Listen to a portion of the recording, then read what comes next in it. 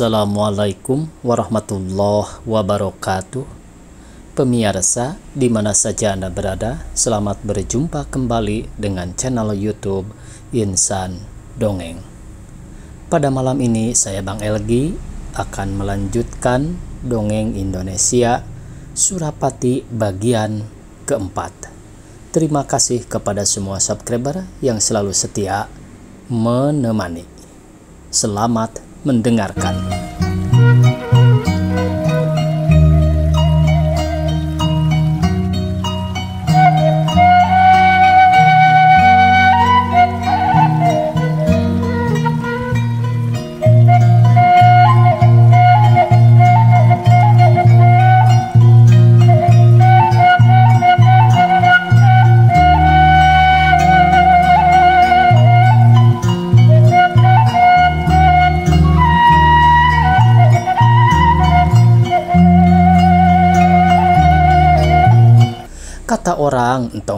Adalah seorang peranakan Portugis, tapi selama ingatnya, ia hidup di kampung sebagai peliharaan orang Indonesia dengan tidak mengenal ibu bapaknya. Hukumannya ialah seumur hidup karena membunuh orang dan puluhan kali melukai orang di dalam perkelahian. Di dalam penjara, Entong Gendut sangat ditakuti. Sipir telah lama berharap-harap hendaklah ia melakukan lagi sesuatu kesalahan berat agar ia boleh digantung. Tapi sebab tak ada seorang di seluruh penjara yang berani pada jago itu, jadi tidaklah ada jalan baginya untuk melakukan sesuatu kesalahan berat. Hanya kepada seorang ia ada memandang jika tidak hendak dikatakan segan. Yang seorang itu ialah Wirayuda yang menunjukkan berterang-terang bahwa ia tidak takut pada entong gendut. Wirayuda tidak pernah menghina orang, tapi ia pun tidak mau pula dihina, walaupun oleh siapa juga. Entong gendut insaf bahwa orang yang seorang itu berkaki tangan pula yang tentu akan dipergunakannya bila ia dipaksa mempergunakan. Oleh karena itu, Wirayuda belum pernah mendapat gangguan dari entong gendut. Sebenarnya seluruh penjara dalam batinnya ada berpihak kepada Wirayuda tapi sebab takut pada entong gendut, masing-masing menjauhinya pura-pura menjadi kawan entong gendut. Setelah si untung duduk bertiga terasing dari yang banyak itu, maka bangkitlah entong gendut dari tidurnya, lalu berkata dengan cemooh, Nah itu dia, orang baru, laga lu, kayak kuye, lu belande, Si Untung berpaling lalu memandang kepadanya. Dalam memandang itu, matanya seolah-olah tidak menembus jasmani orang itu. Tidak meninjau rohaninya, apakah yang tersembunyi dalam tubuhnya yang terlindung di belakang kulit dan di balik jasmani orang itu. Entong gendut agak gelisah dalam berpandangan itu. Baru sekali itu ia menemui lawan yang menyilaukan matanya. Ia tak kuat memandang kepada mata yang berupa mengandung kekuatan itu dan boleh dipergunakan untuk menendukan orang maka dengan tidak disengaja tunduklah matanya lalu berkata ia seolah-olah pada diri sendiri. Awas lu, rupanya mentereng kayak Holland, lagunya kayak company. Awas lu, di sini lu belajar kenal dengan sintong gendut. Pada ketika itu tidak terjadi sesuatu apa, tapi seisi ruangan tahulah bahwa sesuatu waktu pastilah akan timbul perkelahian antara kedua orang itu. Mereka kenal pada entong gendut yang tidak akan tinggal diam, tapi mereka yakin pula bahwa orang baru itu ada pula bertulang delapan kerat yang tidak akan sia-sia melekat pada tubuhnya. Tukang ransum masuk ke dalam membawa makanan untuk orang-orang hukuman nasi di dalam sebangsa piring yang diperbuat dari bambu dianyam, sekerat ikan asin, dua buah lombok, hanya itulah makanan mereka. Air minum dibawa dengan tong, sedang untuk meminumnya disediakan beberapa buah gelas kaleng. Kiai Ebun menerima dua piring dari tangan tukang ransum, lalu meletakkannya yang sepiring di muka si untung. Entong gendut datang menghampiri lalu berkata dengan menghina kepada si untung, Wah, lu ade sedia jongos di sini. Sesudah itu berpalinglah ia kepada Kiai Ebun lalu berkata pula, yang boleh diladeni di sini cuma gue sendiri. Lu tahu? Dengan perkataan itu ia mengangkat tangan lalu menampar Kiai Ebun pada mukanya. Si Untung terperanjat melihat perbuatan itu, maka timbullah tanda-tanda amarah pada mukanya. Pada kulit keningnya merentanglah urat dari puncak kening sampai kepada serta alis matanya. Alis mata itu bagaikan tidak bertaut, gigi mengatup, dagu melebar, sedang bibirnya yang agak menyeringai menjadi pasi.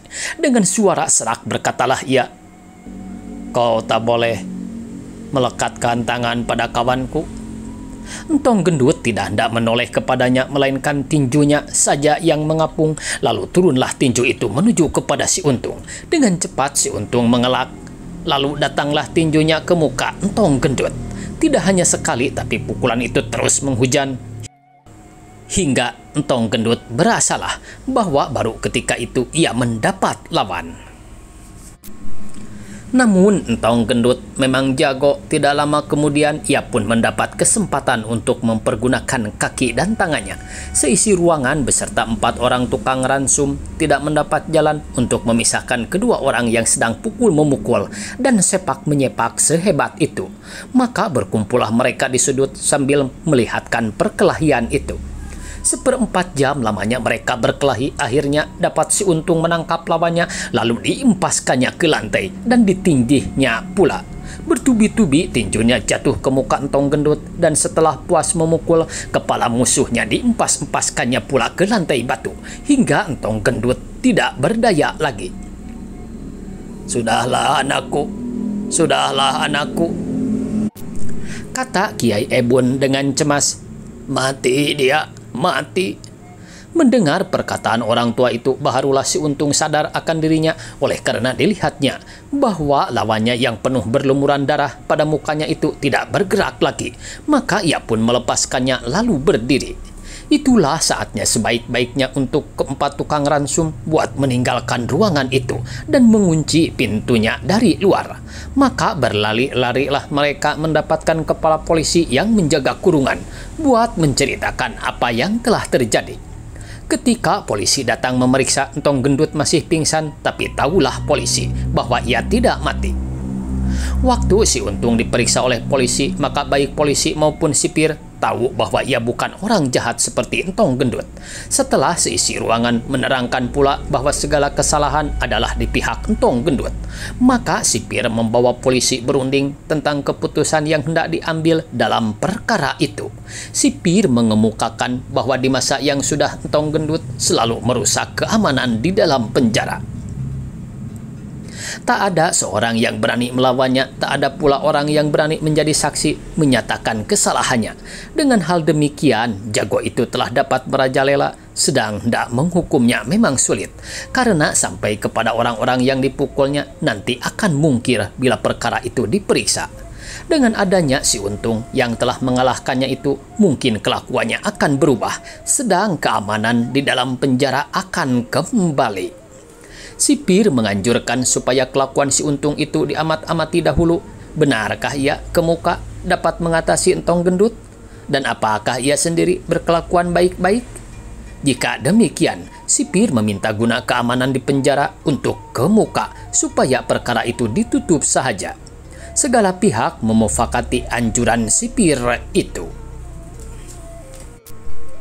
seluruh penjara telah mengambil pihak si untung dengan keyakinan bahwa untuk ke muka mereka sendiri akan terlindung dari kebuasan dan kekejaman entong gendut. Wirayuda yang disegani orang pula telah berpihak kepada si untung. Makin tak ada harapan bagi entong gendut untuk memelihara kejagoannya.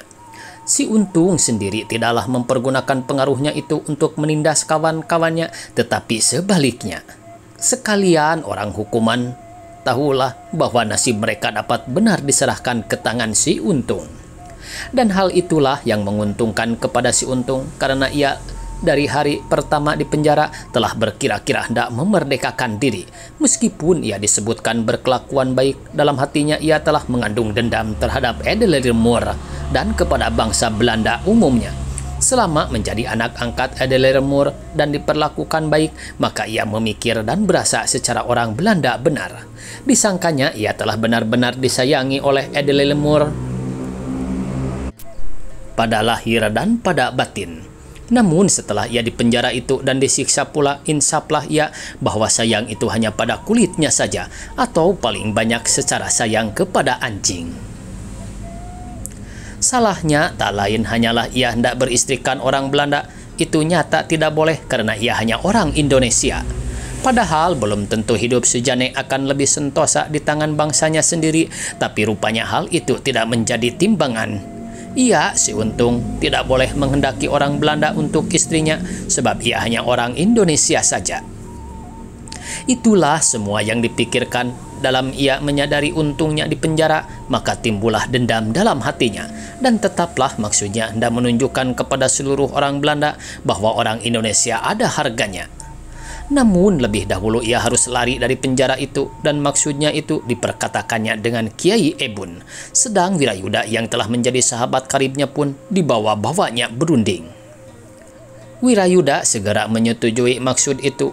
Hanya ia berkata supaya si Untung harus berhati-hati benar dalam mengajak-ngajak orang lain.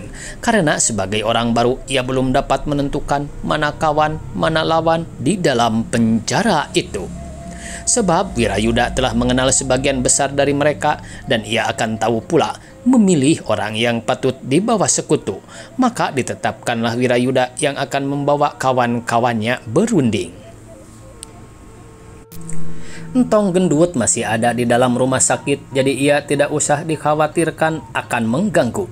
Lebih dahulu, Kiai Ebun menyusun barisan pemberontak di luar penjara di antara orang-orang hukuman enteng. Memang banyak yang disuruh bekerja di luar penjara. Beberapa orang di antara mereka itu takluk ke bawah pengaruh Kiai Ebun, lalu mereka disuruhnya mencari perhubungan dengan budak-budak yang ada di luar. Mereka harus siap sedia menantikan hari pelarian dari penjara itu, lalu menyertai perkelahian-perkelahian yang nanti akan timbul di luar, sambil membawa segala senjata yang dapat dibawanya. Di dalam penjara itu, Kiai Ebun mendapat pula pengiring yang tidak sedikit banyaknya, sedangkan di antara pegawai-pegawai rendah, ada yang suka memberi pertolongan jika hari itu telah datang. Pada suatu hari, maksud itu pun dilakukanlah ketika sekalian hukuman dikumpulkan di suatu ruangan buat makan dan makan angin. Maka dengan teriakan siap, si Untung telah mengepalai kawan-kawannya buat menyerbu sekalian pegawai yang merintangi jalan. Sampai ke pintu gerbang keluar penyerangan si Untung tidak dapat ditahan-tahan sebab penyerangan dilakukan dengan cepat sebagai kilat dengan datang-datang tidak memantangkan lawan, maka sekalian pengawal menjadi gugup. Senjata yang dibawa oleh kawan-kawannya hanyalah batu, tongkat, besi, dan sebagainya. Tapi setelah mereka sampai keluar, maka kawanan itu telah dapat membawa dua pucuk senapan, dua buah pistol lengkap dengan pelurunya bersama beberapa bilah kelewang. Sekalian senjata itu dapat dirampas dari tangan pengawal-pengawal yang telah dirubuhkan dengan berseru-seru, "Gempur! Gempur!" Mereka lari menumpuh jalan raya menuju ke hutan dan paya-paya di tepi kota. Sejalan-jalan adalah banyak kawan-kawan sesama budak yang menantikan lain menyertai lari bersama-sama. Pekerjaan di hari itu telah dirundingkan lebih dahulu dengan mereka oleh anak-anak Kiai Ebun yang ada dalam penjara Senjata-senjata yang dibawa mereka yang diambil dari rumah tuannya masing-masing lebih dari cukup. Ada yang membawa beberapa bilah kelewang dan keris, ada yang membawa tombak, beberapa orang ada pula yang membawa pistol dengan pelurunya. Sebab mereka menembak dan mengancam sepanjang jalan, tidak ada orang yang berani keluar. Tak ada seorang yang dapat menurutkannya. Setelah lama berjalan meninggalkan kota, maka si Untung berhenti lalu menghitung kawan-kawannya.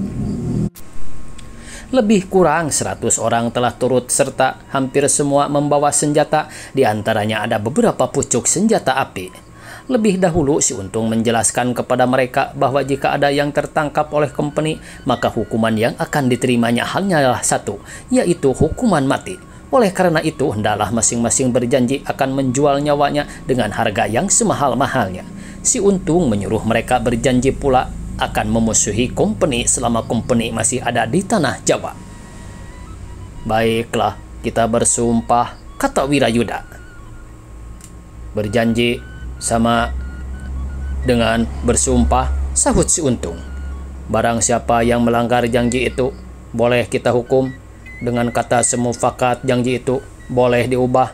Artinya, jika buat sementara waktu atau untuk selama-lamanya, guna keuntungan kita sendiri, permusuhan dengan company itu harus kita hentikan. Bolehlah kita menghentikannya, asal keputusan diambil dengan kata semufakat. Baik, baik, kata Wirayuda. Tapi saya yakin Jangankan permusuhan itu hendak diperhentikan, makin hari ia akan makin mendalam karena kemauan kita dengan company adalah bertentangan. Dalam perundingan itu si Untung diakui menjadi pemimpin, Wirayuda menjadi wakilnya, sedang Kiai Ebun diakui menjadi orang tua yang memberi nasihat pada tiap-tiap ada kesulitan. Rombongan itu meneruskan perjalanannya masuk rimba keluar rimba jika lapar mereka masuk kampung lalu meminta makan melihat pasukan itu lengkap pula dengan alat senjatanya maka tak adalah orang yang berani bertangguh memberikan sesuatu apa yang dimintanya. Akhirnya si Untung dengan laskarnya telah ditakuti orang di mana-mana dan diberi nama penyamun yang mengancam keamanan di kampung-kampung. Memang ada kalanya ia terpaksa merampok yaitu jika orang kampung tak kunjung memberi makan, tapi harta benda yang lain kepunyaan orang tidaklah diganggunya. Yang dibutuhkannya hanyalah makan, kadang-kadang senjata, dan pakaian yang sederhana. Ada kalanya pula ia menyamun di rumah-rumah orang hartawan, akan tetapi sesampainya ke suatu kampung, barang-barang yang disamun itu dibagi-bagikan kepada orang miskin akhirnya adalah orang yang meminta tolong kepada company buat memerangi pasukan itu. Company acap kali pula mengirimkan tentara dari Jakarta, tapi si Untung tidak dapat ditangkap karena tempat persembunyiannya sangat sulit untuk dimasuki. Ia bersembunyi di segala tempat yang sebaik-baiknya untuk bertahan, yang membahayakan bagi orang datang menyerang, senjata api tak kurang pula padanya. Dengan hal yang demikian, setelah bertualang di hut, berpetualang di hutan berbulan-bulan lamanya sampailah mereka ke daerah Priangan keadaan menjadi genting peluru hampir habis yang dituju tidak tentu dalam pada itu si Untung memikir-mikir hal sujana ia telah mendengar bahwa istrinya dibuang ke pulau dan dalam mengandung mungkin anaknya itu telah dilahirkan di dalam rombongan itu ada seorang anak muda, Sarijan namanya. Ia bukan budak, melainkan dipenjara dengan hukuman enteng. Sarijan adalah menjadi kaki tangan si Untung di dalam perjalanan itu. Pada suatu hari, si Untung menyuruh Sarijan kembali ke Jakarta buat menentui hal Sujane. Jika mungkin ia harus mencuri anak si Untung dan mempertaruhkannya kepada salah seorang penduduk kampung di pegunungan yang tidak dikuasai oleh company. Sarijan berangkatlah dengan janji bahwa titah si untung itu akan dilakukannya dengan segala daya dan upaya. Si Untung tidak mengetahui bahwa pasukan serdadu Belanda yang bersenjata lengkap dan lebih banyak bilangannya dari jumlah pasukannya telah lama menurut-nurutkannya. Pasukan Belanda itu telah beruntung dapat memutuskan jalan si Untung jika itu yang dikehendakinya. Pemimpinnya ialah seorang ahli Kapten Rui yang menjadi komandan benteng Tanjung Pura yang sekarang di daerah Karawang. Kapten itu mendapat perintah mencari Pangeran Purbaya karena ada kabar tersiar bahwa musuh kompeni yang tangkas itu telah suka berdamai selainnya dari itu. Jika ia kebetulan bertemu di jalan, si untung pun harus ditangkap pula. Meskipun dicari ke mana-mana, Pangeran Purbaya tak kunjung berjumpa, yang dapat hanyalah jejak si Untung. Kapten Rui berpikir, menangkap menangkap Pangeran Purbaya asal bertemu lebih mudah daripada menangkap si Untung. Eh? Laskar Pangeran sudah hampir tak ada, ia pun bermaksud tidak damai. Si Untung dengan laskarnya yang kuat adalah musuh yang patut diindahkan ya. Belum tentu ia akan dapat ditangkap. Kapten Dwi tidak tergopoh-gopoh menemui pasukan si Untung lebih dahulu diselidikinya tentang banyaknya pasukan itu. Demikian juga tentang persenjataannya. Sesudah itu dipilihnya tempat yang sebaik-baiknya buat menyerang kalau perundingan menemui jalan buntu. Di tempat itulah ia memotong jalan si untung sambil mengibarkan bendera putih. Pasukan si untung yang terkejut melihat serdadu Belanda sebanyak itu lalu bersiap menantikan segala kemungkinan. Eh, waktunya habis pemirsa. Dicukupkan sekian, semoga esok kita bisa berjumpa kembali. Billahi taufiq wal hidayah. Wassalamualaikum warahmatullahi wabarakatuh.